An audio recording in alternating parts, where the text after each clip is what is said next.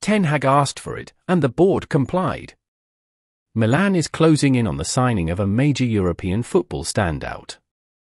The English club intends to announce the player's acquisition soon. The Manchester United team has been experiencing significant fluctuations in the current season, and the board will try to reverse this situation as quickly as possible to maintain their dream of winning titles. The executives plan to enter the transfer market to further strengthen the squad and attempt to turn around the current situation. The defense is still a concern for the Red Devils board, who are looking to provide better options for their coach. The coaching staff has already proposed some names and is waiting for the board's decision.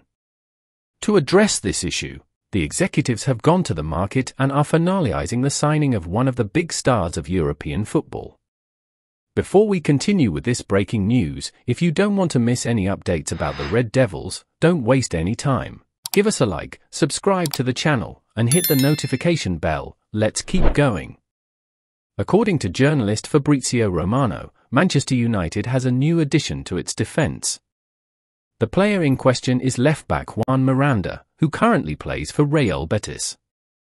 Miranda has been standing out in the Spanish team but has his contract expiring, and the Italians have decided to seize the opportunity.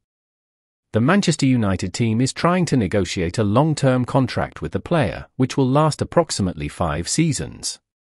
His arrival is set to take place in June 2024 and will be on a free transfer. So there you have it, Red Nation.